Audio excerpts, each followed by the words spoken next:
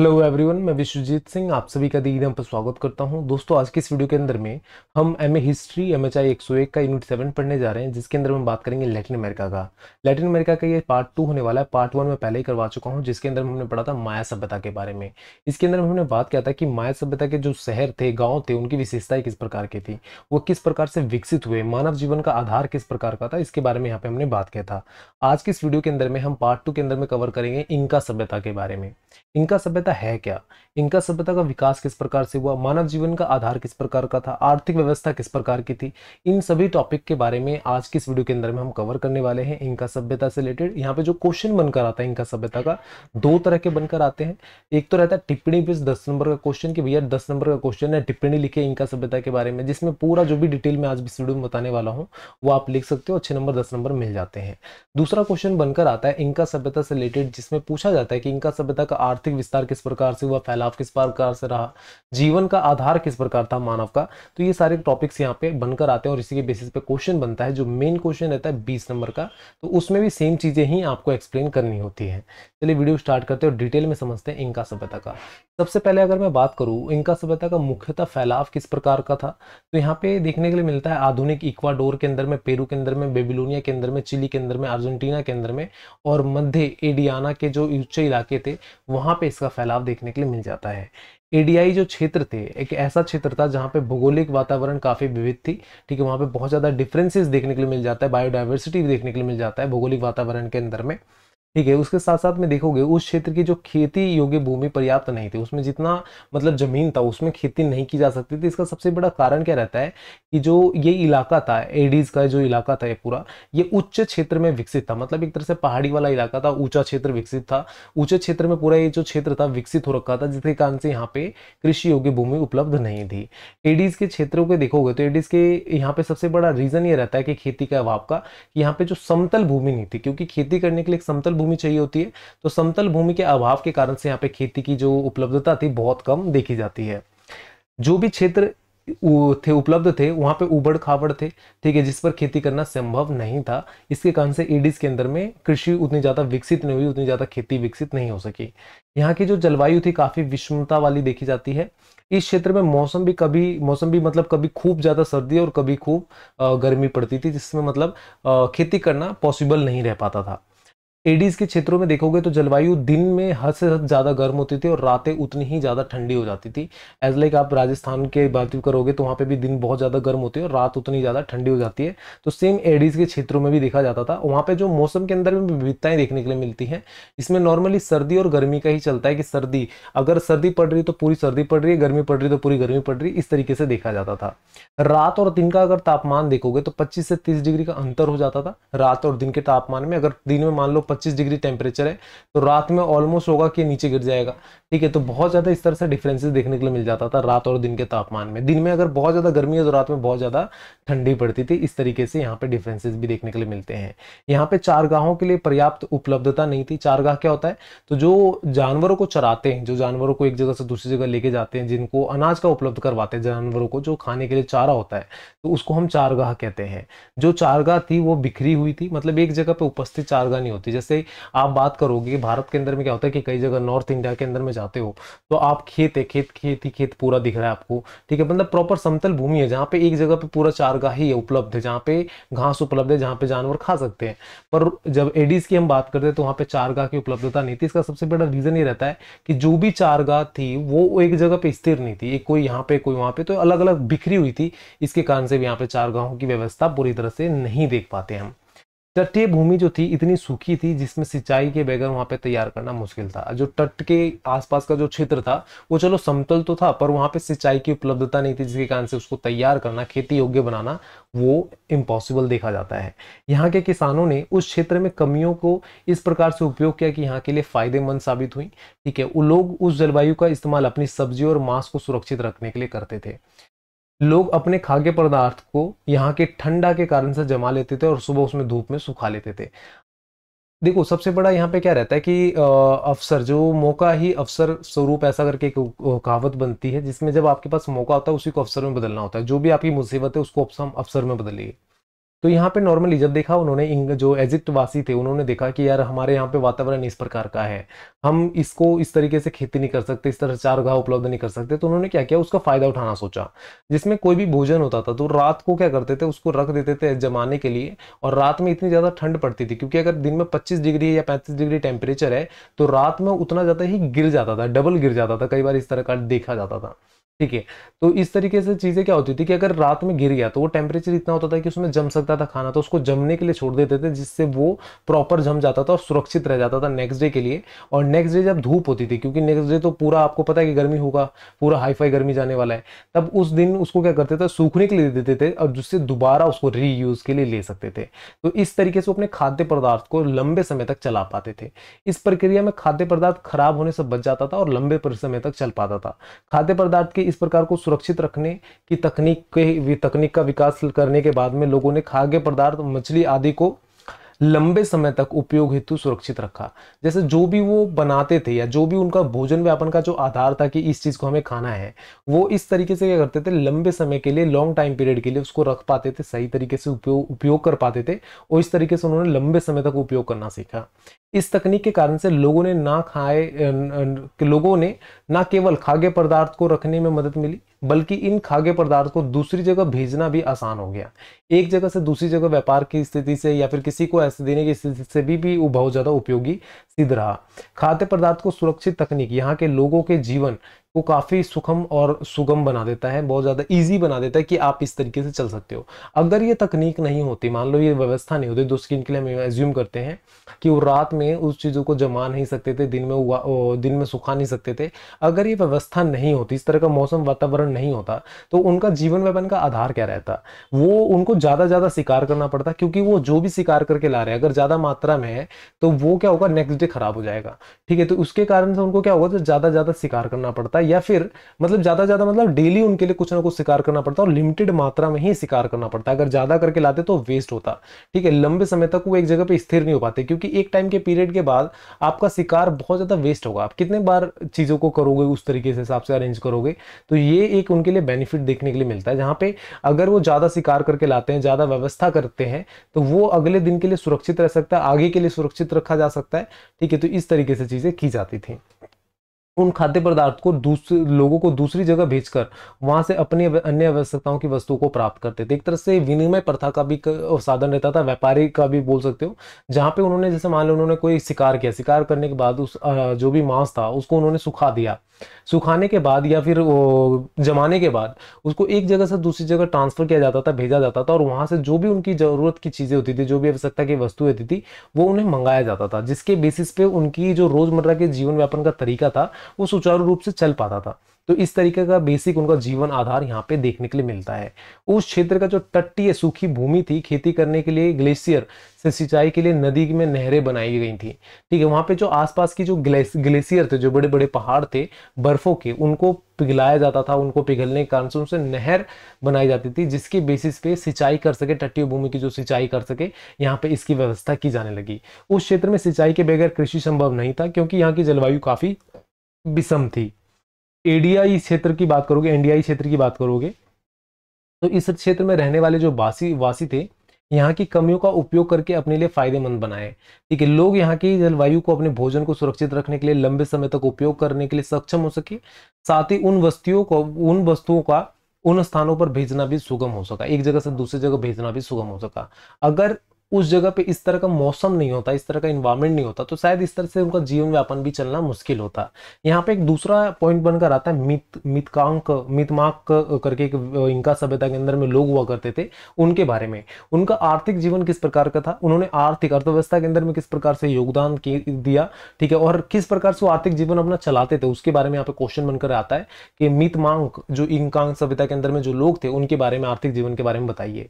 तो मितमांक एक, इनका सभ्यता में में ऐसे लोगों का समूह था, जो खेती के लिए एक जगह से दूसरी जगह भेजा जाता था, जहाँ पे खेती करना होता था। मान लो वो एक जगह यहाँ तो रह रहे, पर उनको पता चला कि यार खेती करने के लिए यहाँ पर अच्छी ज़मीन है तो उनको एक जगह से दूसरी जगह भेजा जाता था खेती करने के लिए। और इन लोगों द्वारा नई मतलब ये जो ये जो लोग होते थे, वो जो ज़मीन होती थी ना, उनके लिए नई होती थी, जगह नई होती थी, उस जगह पर भेज कर इन्हें खेती करवाया जाता था। हालाँकि कुछ इतिहासकारों का मानना होता है कि इन इनका सभ्यता में बसाए गए जो लोग होते, वो निष्ठावान होते थे, बहुत ज़्यादा, निष्ठावान तरीके से। मतलब वो लोग मतलब बिलीव कर सकते हो, उनके ऊपर निष्ठा रख सकते हो, इस तरह के लोग वहाँ पे होते थे।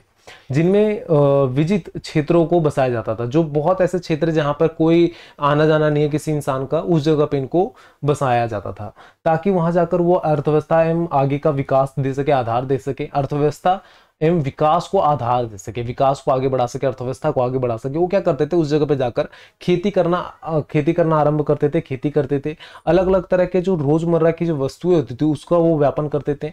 ठीक है, वहाँ पे शिल्प कृतियों को बढ़ावा देते थे, जो भी हम आगे पढ़ने वाले जिससे आपको आइडिया मिल जाएगा।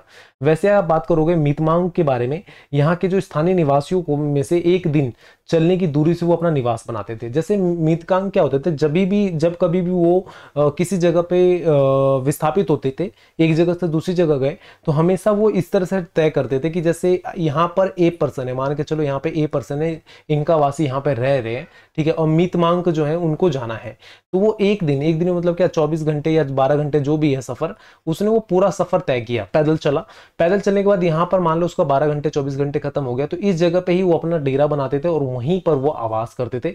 मतलब वो एक दिन के सफ़र की दूरी पे वो रहते थे। इस तरीके से वो नापा कर देते कि हम एक दिन के सफ़र की दूरी पे हैं। आज के समय में क्या होता है कि कोई भी पूछता है क्या कितने दूर हो? तो भैया कितने दूर हो? तो एक घंटे की दूरी पे हूँ, दो घंटे की दूरी पे इस तरीके से हम बोलते हैं, या दस किलोमीटर है, पाँच किलोमीटर है, यार इस दुकान पे उस दुकान पे ये हम बताते हैं। पर जो उस समय के मीत काम के लोग थे, जो इनका सभ्यता के अंदर में रहते थे, वो इस तरीके से सफ़र का अंदाज़ा लगाते थे कि मैं एक दिन की दूरी पे हूँ। और जैसे ही, जैसे इस पॉइंट से चले, वो पॉइंट नंबर ए से चले तो यहाँ से चलने के बाद यहाँ पे रुकते हैं और यहाँ पे रात हो जाती है तो यहाँ पे पॉइंट ए खत्म हो जाता है और यहीं पर वो आसरा बनाते थे और उनका जो चर, मतलब जो जगह बनाने का निवास स्थल बनाने का जो प्रक्रिया होता था वो इसी प्रकार चलता था कि एक दिन की दूरी पे दो दिन की दूरी पे हम निवास स्थल बना सकें।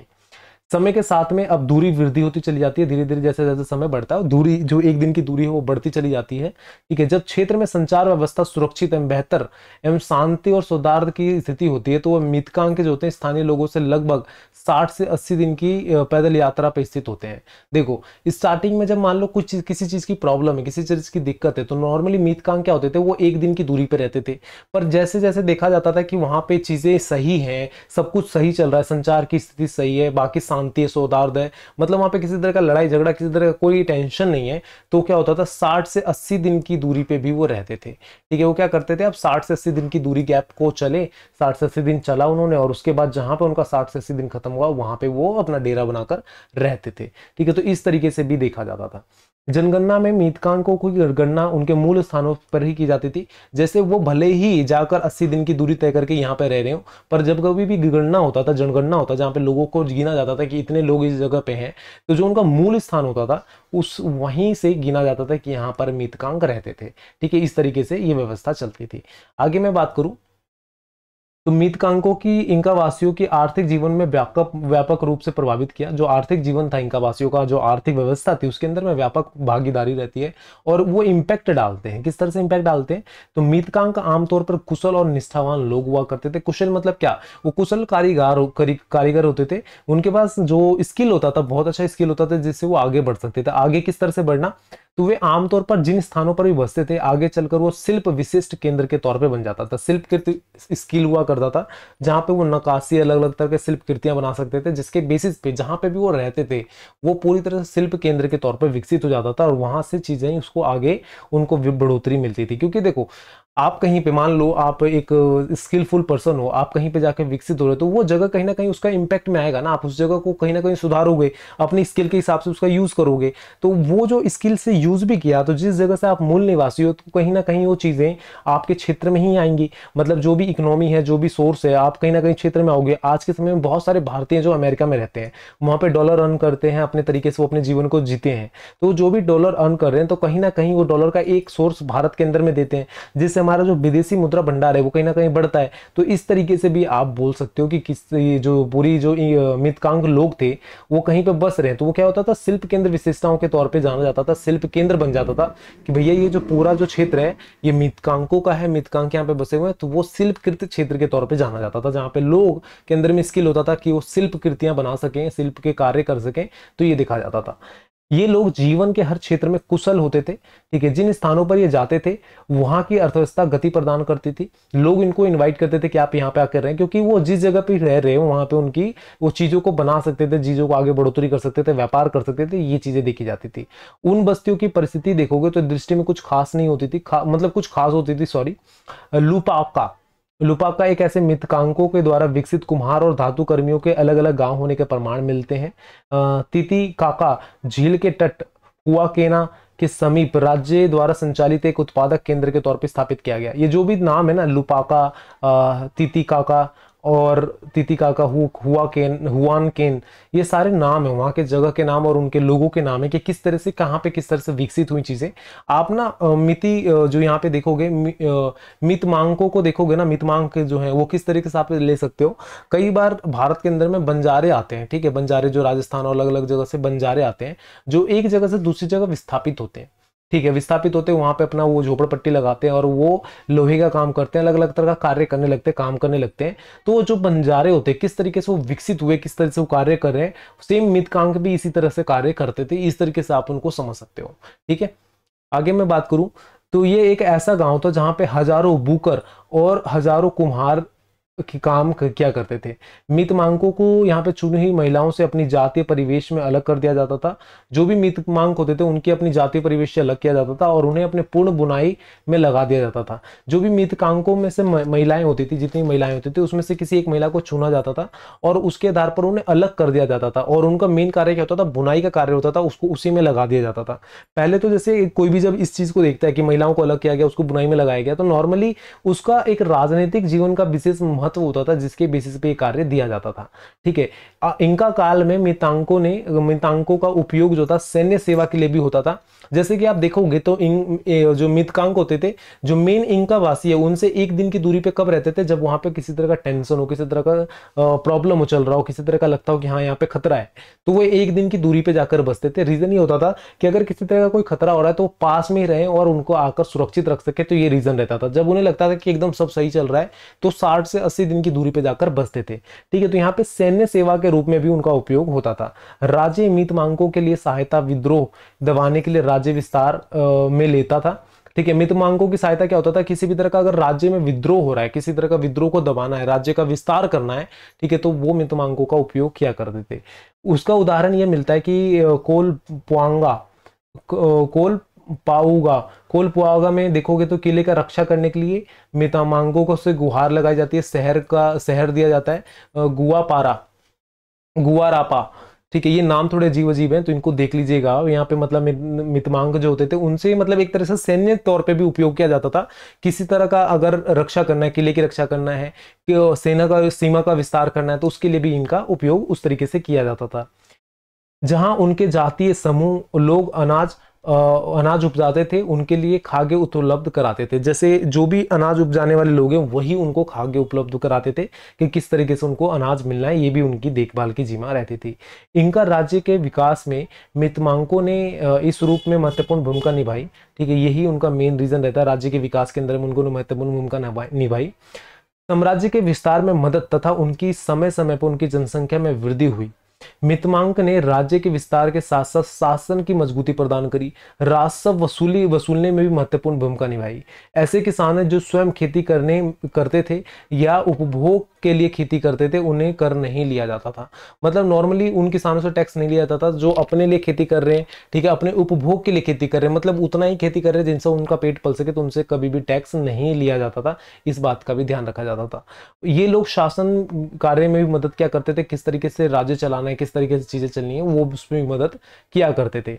ये आर्थिक गतिविधियों को एक नई दिशा प्रदान करते हैं, जिस तरह से जो इनका सभ्यता के लोग थे, उनकी अर्थव्यवस्था थी इकोनॉमी थी, वो भी आगे ग्रो करने लग गई थी। ठीक है, प्रशासनिक जिम्मेदारियों में उनकी उनके द्वारा निभाई जाती थी, जो भी प्रशासनिक जिम्मेदारियाँ होती थी, वो भी उसके अंदर में सपोर्ट करते थे, पार्टिसिपेट करते थे। मितमांक जो थे धातु कर्म और अन्य गतिविधियों द्वारा इनका वासियों की अर्थव्यवस्था में को परिवर्तित करते थे। इस प्रकार स्पष्ट है कि मितमांकों को इनका सभ्यता के अंदर में विकास और समग्र रूप से योगदान दिया जाता था। ठीक है तो इस तरीके से पूरी चीज़ें चलती हैं यहाँ पे आप इनका सभ्यता वाला भी टॉपिक जो हमारा था, खत्म हो जाता है। इसमें नॉर्मली अगर क्वेश्चन का तो टाइप आता है, दो तरह का ही बनकर आता है, टिप्पणी वाला और दूसरा मेन क्वेश्चन मेन क्वेश्चन बन के आता है तो इनका सभ्यता की अर्थव्यवस्था के किस प्रकार से विकास हुआ? ठीक है, इनका सभ्यता के अंदर में लोगों का जीवन व्यापन का आधार किस प्रकार का था? इनका सभ्यता है क्या? इस तरह के क्वेश्चन बनकर आते हैं, जिसके अंदर में आपको ये सारे पॉइंट्स आपको लिखने होते हैं। नॉर्मल अगर आप एक दो बार पढ़ोगे तो आपको समझ में आ जाएगा कि क्या चीज़ें हैं। अगर आपको इसका नोट्स चाहिए तो आपको डायरेक्ट ब्लॉगर पर जाना है। ब्लॉगर पर मिल जाएगा। गूगल ब्लॉगर पे, ठीक है, डिस्क्रिप्शन में लिंक ब्लॉगर का दिया रहता है तो वहाँ पे आप जाइए, डिस्क्रिप्शन में लिंक पे क्लिक कीजिए ब्लॉगर पे और वहाँ पे ये आपको पीडीएफ मिल जाएगा। डायरेक्टली आप जाकर वहाँ से नोट डाउन कर सकते हो, चीज़ों को समझ सकते हो कि किस तरीके से क्या चीज़ें थी। साथ साथ मैं एक रिक्वेस्ट करूँगा दोस्तों कि हम वीडियो बहुत मेहनत से बनाते हैं। आप लाइक से सब्सक्राइब ज़रूर करें। सब्सक्राइब ज़्यादा ज़्यादा करें, ठीक है? और द इनब और नव इन्फो दोनों को सब्सक्राइब करें। नव इन्फो पे आपको कॉलेज रिलेटेड जितने भी अपडेट हैं, वो मिलते रहेंगे, सारे नोटिफिकेशन मिलेंगे। और द इन के ऊपर में जितने भी आपकी न्यू चैप्टर्स करवा रहा हूँ, जो भी आगे मैं पढ़ाने वाला हूँ, उसकी अपडेट यहाँ पे आपको टाइम टू टाइम मिलता रहेगा। तो फ्रेंड्स लाइक से सब्सक्राइब ज़रूर करें। अगर किसी तरह का डाउट क्वेश्चन है, किसी तरह का कन्फ्यूज़न है तो आप कमेंट बॉक्स के अंदर में अपने क्वेश्चन को रेज कर सकते हैं। मैं वहाँ पर आपका आंसर दे दूँगा। तो वीडियो एंड करते हैं thank you so much bye bye take care all the best